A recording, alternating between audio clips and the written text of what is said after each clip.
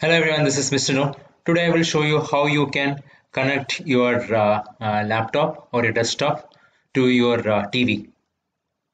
So this is required when you are into uh, trading and all, where you would like to see your uh, screen of your laptop in a big uh, screen.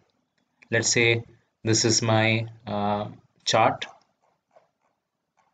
Now if I want to see this on a big screen how would I get to do that you just have to uh, you don't have to install any software you can just say connect to wireless device a wireless display now after clicking it you will be here now in here you just have to say click on this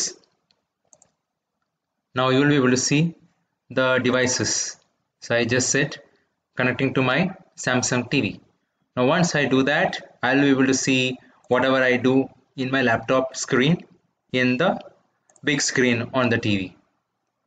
I hope this information is uh, useful for you. Subscribe now and press the bell icon. Never miss an update.